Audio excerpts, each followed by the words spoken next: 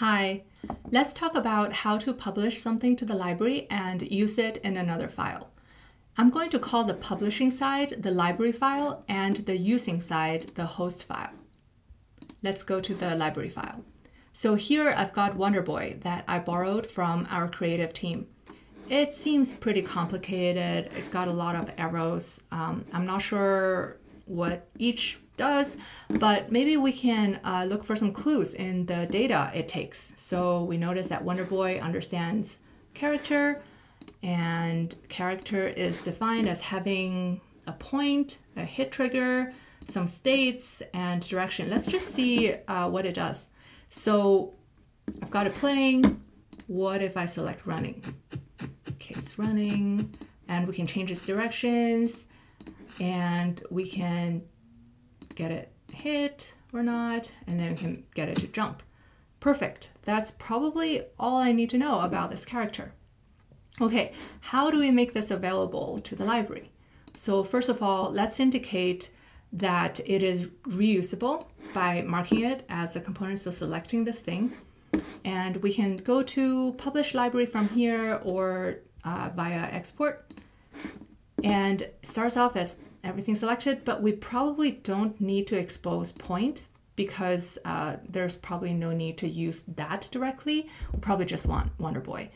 And as for view models, let's first deselect everything. Um, if we, as we noticed earlier, we were controlling Wonder Boy through triggers and states and that kind of thing. So we have to, if we want it to be dynamic, we probably have to expose character. Otherwise, we could export Wonderboy like so, but it would just be kind of idle, you know? So notice that once we select character, a bunch of other things get selected. And that's because character is defined as depending on points. So if you were to export character, would need to also export points. And uh, hit is trigger, state is an enum, so we also need to, it depends on a bunch of other things that is. And so by selecting just kind of the root of, the root of it all, we also have to select a bunch of other things. And without any, um, some interactions might not work as expected. Okay, so now we selected all that we need to select. We can publish the library. And once it's published, we notice that it is marked with a special icon. And uh, let's head over to the host file now. Under environment, we start off as pretty uh, simple. and under assets, we notice a similar icon. And once we select it, we notice that there is just one available. And that's because only libraries from the same project will be available. So going here, uh, we can select Wonder Boy, and then we notice um, thumbnails probably take a while to load. Uh, but we notice that once we select Wonderboy, uh, we can add it to this file, or uh, we can just make sure that our um, background is selected, and then we can just also, um, you know, drag it in. And once you do, we notice that the uh, component instance icon shows up and uh, it's as if we had defined Wonderboy in this file and just reused it. Um, yeah, reused it in this library, uh, in this in this file. Okay, and uh, once we have it in, we make sure we, we go to the data panel and notice that uh, the character it depends on is loaded in and all its other dependencies. Great, let's go to character. Uh, seems to be looking fine. And uh, we go to Wonder Boy, and uh, this, this is a file that contains all the definitions of the view models that came from it. And of course you can select, you can toggle the view to go, go to your folder organization view, but um, by going to source or type, we can see all the things that came from the same library file. And to make a move, uh, we can select the artboard uh, and supply it with character. Um, and that's it. And let's see, we can probably get it to run, get it to stop, and get it to turn around. Oh, jump, get hit, and all that good stuff. Perfect. So now let's walk through where uh, everything is. So I already mentioned that uh, under assets, this is where we see all our uh, reusable stuff. Um, Wonderboy under source and type uh, will contain all the things that came from that library file. And so our Wonderboy was a component that came from Wonderboy. Perfect.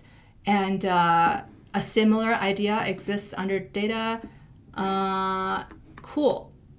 And notice that because a character came from uh, this library file, Wonderboy, um, we can't really, you know, contrary to if we had created a view model here, uh, we can add properties to it, but because it came from the library, um, we shouldn't and probably uh, we, we, shouldn't modify its structure. Um, and uh, but we can you know create new instances to it um, as we normally do. Okay, um, yeah. Similarly, uh, data enums that came from the library cannot uh, really be modified either. You cannot delete anything. You cannot add anything. Okay, so uh, another oh something that could happen is probably like perhaps down the road uh, you really don't want Wonder Boy to be uh, interactable. Um, maybe you're working on like a more static scene and uh, perhaps we accidentally or something deleted deleted all the data that Wonder Boy needs.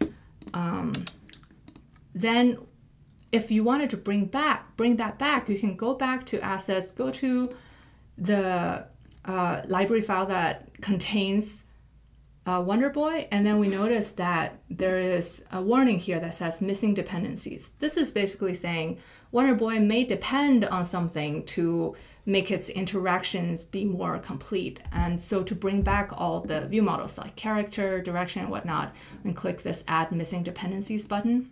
And once we add that, uh, you know, all the good stuff from Wonderboy, all the view models came back, and we can uh, go back to making that uh, interactive. Okay, yeah, a similar concept exists for view models too if we say accidentally deleted direction. Um, go to Wonderboy, notice that same thing. Uh, this, this structure is now incomplete, it needs direction, so we can just bring it back by clicking this button.